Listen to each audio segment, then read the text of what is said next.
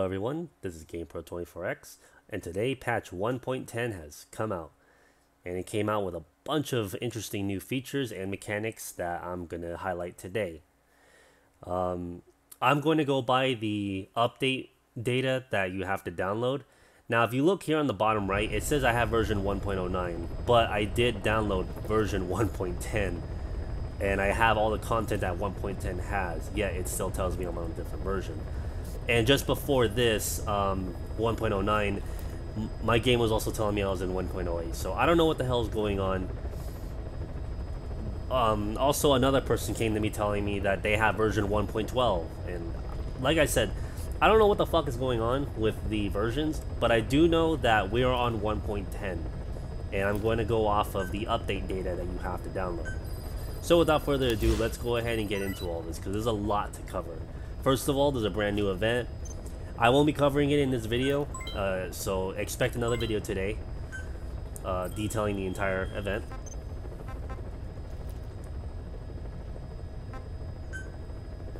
So, to start off, we have some brand new weapons, or weapon, I should really say. Please um, specify um, a project. So far, we have Ocelot's Tornado, and I'm going to try and go ahead and updated or upgraded to his, to the best of its ability, and then I'll just give a weapon review of it. I do not know if the Revolution Gaming is still even doing this anymore, or he probably will after someone tells him that there's new weapons. But yeah. Also, another thing you want to look at, we have we now ha can go up to grade 15 on our weapons. Yeah, that's pretty fucking insane. Grade 15. So, I don't know what weapons will ever go up that high, but we'll find out in the future. So along with just that, there's also been higher versions of weapons like the Zeev. Now there's like a grade 9 version or a grade 9 Riot SMG.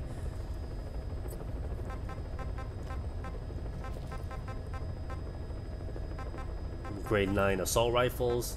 And I know the G44 also has a new upgrade as well. I, there it is right there, the grade 8. So that one's new. Yeah, but if you're also noticing about the unit levels, we're going up to like 130 and all this shit. So yeah, the grind's gonna be real fucking intense. The new S1000 shoddy. So it's slightly powerful than its previous version. I don't believe there's anything new here in the grenade launchers because these are all pretty old and they've always been there. However, I've just gotten some information that the that this weapon right here has been extremely nerfed or buffed, however you want to pronounce it. But basically, the research requirements have went down significantly, and also the usage requirements too. Before it used to be precious metals and stuff that you needed to use to make it and use it. Now you just cost it just costs GMP. That's it. And from what I've been told from the from the Discord chat is that it's only requiring you from requiring GMP. And I'm gonna go ahead and leave this up here so you guys can see that little bit of the conversation about that. There's some higher grade sniper rifles. What I'm kind of hyped about is this grade 8 Serval, because that wasn't there before. So I cannot wait to build that. However, I need level 131 base development to make it. So I can't wait, because I love the Serval. Another interesting bit you want to look at the Serval is that there's an undermount option, meaning that you can put a foregrip or hell, even an underbarrel grenade launcher if you want. So like I said, I'm hyped for that fucking gun, and I cannot wait. I, can, I cannot wait to get it because if it's the one thing I've always wanted with the Serval, is the ability to put a grenade launcher on it. So we have the uh, LAM 48. That's new. We have some new higher grade rockets, which is the non-lethal rocket launcher the Killer Bee, and also the CGM25. I, I didn't think they would actually make it even stronger. So yeah, that that's where you're gonna need to level it up. There's nothing new in the like in the shield side. There is two new versions of the grenade, the hand grenade and the stun grenade.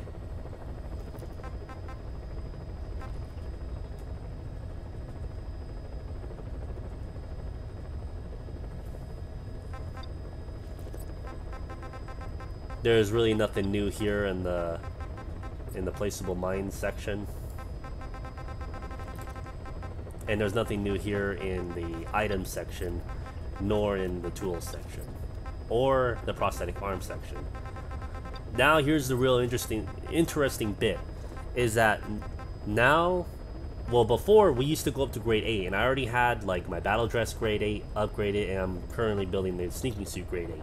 Now, we have grade 9, 10, and 11, and you don't see that here now, but it is illustrated here um, on the news data about what stuff is coming out. So we can expect very high levels of units that we need to build this shit. Like 140 seems to be the max to build everything. What's also really interesting is that look at the defense up. It goes from 5 and then it just says defense up. So I don't know if it still keeps stacking or I don't know, but but yeah, it's it's a lot of shit, and it's the same thing with the DLC suit as well. So that's crazy though. It's it's a lot of shit, and I don't even know how much stronger the battle dress will get. So we'll have to find out later. There is absolutely nothing new in any of the security devices either, so you don't really have to go bother with that. So whatever you have built, Please if you have them all to the max, you're practically good. But I wouldn't put it past me that they would increase the level unit, the unit levels for that. So the next bit here is the staff recruiting. There's two special ones. It, it says it'll give you special staff skills. So until this one is done, I won't be able to check what those skills are. And also, I won't be able to check if the Phantom Dispatch Unit method still works. So look in the look in the comment and in the description, and I'll keep you guys updated about if that method still works on patch 1.10. So please bear with me, and I will have that data up as soon as the 11 hours pass. Another cool thing is now we have add they have added new tasks to the single player campaign, which is pretty cool. I, I'm I'm all for that, and it looks like most of these are in specific levels. So yeah, just load up your iDroid and see what you can get. However, the only two that I'm really focused on are these two down here, the S Plus for both of these subsistence missions. So yeah, I'm probably gonna do a, a small video about how to complete those, and you can bank on those. But yeah, it's I'm actually pretty happy that they're giving you higher ranked staff through these tasks. However, these are just the only two available, so it, it's not enough, but it is a good start. So here is one of the bits from the official website and under the news section detailing about what's inside this update. And right here it's talking about new soldiers with different skills. And as you see here, this is Defender 1. And this is all going to go towards your defense, offense, whatever capability you have. And to get into a little bit more of a detail about it, here's the info that I got from one of my staff at my mother base in Discord. So here's some of the information that he was able to gather. So I thank you very much, Drebin512, for getting this for me. Because I, probably would not have been able to grab this information as quickly as I could. So please give her, give him a shout out for that. And same goes for like uh, the Misra grenade launcher, or however you pronounce it. He he also told me some of the stuff about how it, the the costs have been reduced. Now here comes something new and interesting when it comes to FOB raids, is when you invade someone, now you have the option to use dispatch FOB units for this. Please select And I'll go ahead and read off on some of these. So for the first one, it's basically it, it'll remove the um, it'll remove some staff off of that FOB if you're successful. And the higher the grade, the more of an effect it will have, along with a higher success rate. And if you go up to grade 5, it'll start using S plus people in your FOB. Now, like I said before, as it is right now, I can't currently test if Phantom Dispatch Unit still works. So I will not be able to I won't be able to know if it does or not. And I think I might have a slightly altered iteration of the Phantom Dispatch Unit when it comes to this. so that you don't end up losing S plus staff when you're trying to do this. So essentially, you could just kind of like cheese it, and you can get the the better percentages or a better chance at fighting these FOBs whenever you want. They also cost uh, vehicles as well, so you're gonna have to probably build up your dummy profile to make sure you have a lot of these vehicles that are listed here. That way, you don't ever have to worry about running out. So yeah, we have the security devi devices, the armory, the anti-reflex research, the reinforcements. The reinforcements one sounds interesting. And if you're successful, basically if you get caught, you won't deal with any reinforcements. So yeah, and look at the su success rate. Like I'm already at 100%, meaning that I'll just get it instantly. And then the last one is called Vehicle Escort, and that one will practically increase the chances of all of the other dispatch units that are going on at that moment. So, like I said, uh, if you have a lot of high rank staff, you could easily raid FOBs. However, defending your FOB will now become a lot more difficult than it was previously, since now people have this option to, to essentially nerf your FOB. So the final bit here is the weekly league and the short league. The weekly league is is it's the same exact thing that we've been seeing this entire time. And you want to know something that's crazy? I actually got a draw on my first match. I didn't know you could get a draw, so I thought that was really interesting. but yeah, um, the weekly league is exactly what, what we've been doing this entire time. Another thing that was not mentioned um, is that now the rewards for the PF rankings have increased. Now you can get 5 S plus staff or 3 S plus plus staff for for an X amount of PF points. So I thought that was really nice. Now for the short league, I it hasn't been completed yet on my profile, so all I know is that it's just gonna take. It's just gonna put you. Let me see. A short-term virtual league consisted by users who have specially applied to the participate. So I don't know what you're gonna get out of it. You're probably gonna get some special rewards and maybe some more PF ranks or PF points. But yeah, that's something extra you can do on the side if you really want to. Now for me, I don't really care about this PF thing or these weekly things. I, I really don't. But there's a lot of people who do. Okay, now let's go ahead and cover what's going to be expected to come within the next few server maintenance.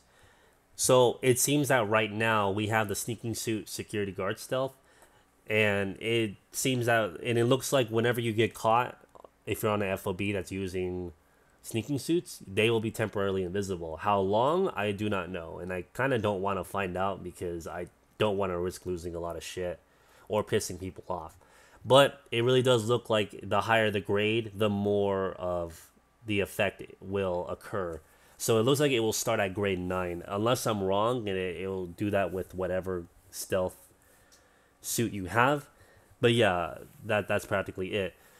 So the UAV drone that is supposed to have the battery vaporizer, that isn't out yet, but this is something to be expected.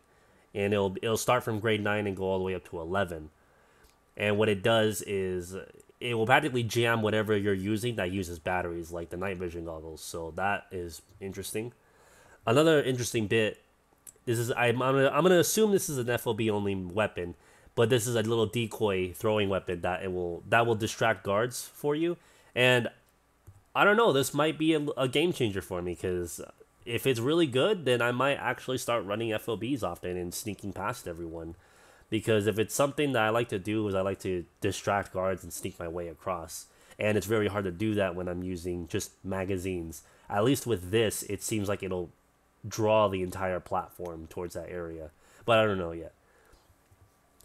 Um, it looks like this non-lethal machine gun does not have a grade, and I'm probably sure that's an error on their part. But that's something that will be expected to be released a little bit later. So I can't wait to see that, and I can't wait to see it in action because holy shit, that was something that I've always wanted when I was playing single player or something like that. Is this fucking machine gun? Because oh my god. Now, of course, we already have the Tornado 6 revolver, and it's going to start at grade 3. But uh, currently, as it is, I do not know how far it'll go in the skill tree. I'm going to assume up to 9, but we'll find out later. And I will do weapon, weapon reviews on all of these because I don't think Revolutionary Gaming is going to do that anymore. Now, the thing that I am completely fucking hyped about is this rocket launcher right here. Because it is a grade 5 Fulton rocket launcher. Yes, you heard it, everyone. If you have played Peace Walker, they had a similar weapon in that game. And it was fun as fuck to use, especially during boss battles, because you can get a lot of S rank staff really quickly with it. And all you do is just keep blasting everyone, and it'll capture people in a group. And it will automatically attach Fulton devices on everyone. So I'm hyped as fuck for this rocket launcher because that's something that I've always wanted. Now we can go into FOBs or FOB events and just fucking Fulton everyone. Just just shoot everyone in crowds and that's it. I, I really do hope you can use it in single player. It will be a real bummer if you can't. But yeah. now, for the final bits of information that are really important that I know some of you are really asking for is if have any of the farming methods been patched? and I can safely tell you guys that patch 1.06 AFK farming has not been patched. Patch 1.06 materials, like material gathering, has not been patched. So, yes, both of those still work, and I'll have links below in the description leading you to the exact videos that I'm talking about. Because I know I have two versions of these videos, and one of them is old and outdated and doesn't work but the other ones do. Now, as for the Phantom Dispatch Unit, like I said, currently I can't test it at the moment because I have to wait for my current unit to come back. But once I get information about it, then I'll let you guys know in the comment section or in the description if it does work or not. So just hang tight. It's only like 10 hours from now. So no rush. But the last things I want to leave off is um, I know the level 140 or level 130 level cap is very, very um, taunting, but I am coming out with a method soon that will kind of help alleviate that problem once and for all.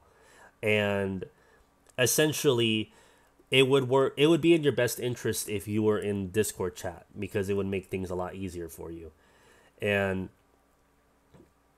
this is something I've been working on for a while because this isn't something I can just test in one day. No, it, sadly, it's not. But if if I if I iron out this method and test every possible scenario and every possibility, then we I can give I can make sure that levels are no longer a concern in the community. So please hold on a little bit longer. It's I've been working on this for about a month now. And yes like every and i've had a lot of successes and a lot and i have a lot of failures like a lot of failures because i'm learning this new method. I'm discovering how it works. So please bear with me. It will come out soon. So for now just hang tight. Do the fob event and please look forward to that fob event in like an hour or two when i'm done recording that so yeah a lot of shit to do uh, I'm kind of surprised Konami is now just adding more shit to the game. I just don't like the whole extremely high level cap because now it just it really does feel like they're just doing their best to extend it as much as possible. However, adding new stuff like weapons and mechanics always makes a game feel fresh. So that's one thing I'll give for them is adding new content. So yes, I know this video is kind of long, but there was a lot of shit to cover. So I hope all of this was very informal to, informal to all of you. And like I said, look forward to my other videos. And I thank you guys for watching this and supporting me through all of this. And I'll do my very best to make sure you guys get the best experience possible out of this game. So, until then, I will see you guys later.